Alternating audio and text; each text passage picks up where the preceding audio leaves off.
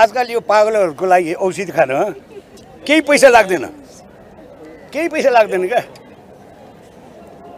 मेरो अरू भनाइ छैन। समय समयमा प्रकट हुन्छ क्या? समय समयमा किन प्रकट भइरहेछ? होइन? समय समयमा केही इस्युजहरू उठाउँछ।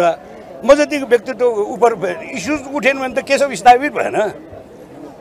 विवादमा नआउने केशव स्थापित हुन्छ? आइरहनु पऱ्यो क्या? होइन? प्रयत्न गरेँ मलाई त पाँच सय पचास पचास मुद्दा लागेको बेला केशव स्थापितले पाँचवटा मुद्दा थपी बक्स्योस् भनेर निवेदनमा हाल्ने मान्छे हो।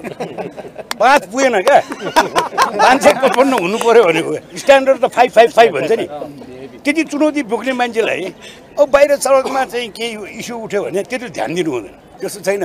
उहाँ यदि खुसीमा गदगद हुन्छ कि यहाँ आउँदाखेरि पेटमा कौकुटी लगाएर त्यसैले आइरहेको छैन उहाँले। कौकुटी काठमाडौँको जनमत चाहिँ विद्यासुन्दर साक्यको कार्यकालमा चाहे त्यो रानी पोखरीमा चाहिँ ढलान गर्ने कुरामा होस् वा गुठी विधेयकको विषयमा चाहिँ एमालेको जनमत खस्कियो भन्ने छ नि। तपाईँले त्यसलाई कसरी हेर्नु भएको छ?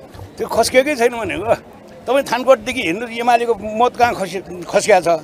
त्यहाँबाट पो जोड्नु पऱ्यो माइती घरमा मैले जिन्दाबाद मुर्दाबाद गर्ने सबै त्यो चाहिँ मेरो भोटर हो कहाँनिर खस्कियो भनेको? तपाईँहरूले त्यही सोध्नु होइन? त्यो तिन कुनीमा बसेर तिन कुनीमा बसेर सोध्ने। अब तपाईँहरू ओभर हेड ब्रिज क्रस गर्दा मजा लाग्छ नि त्यो बेला केशव स्थापित हुन्छ ल्यान्ड पुलिङ भयो। तपाईँहरू अहिले आउँदा जाममा फस्यो भने केशव स्थापितले नसम्झे भने त्यो धोबीखोला करिडोरमा छिटो छिटो पुग्ने बाटो मैले बनाएको हो। कहाँनिर खस्किएको छ भनेको? खस्किएको नखस्किएको कुराले खस्कियो भने तपाईँले तर्क गर्न पाउनुहुन्छ। यस्तो अन्याय नगरौँ न।